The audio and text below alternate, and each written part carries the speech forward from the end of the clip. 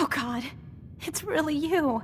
Well, it's hard to mistake this mug for anyone else. You keep laughing at death.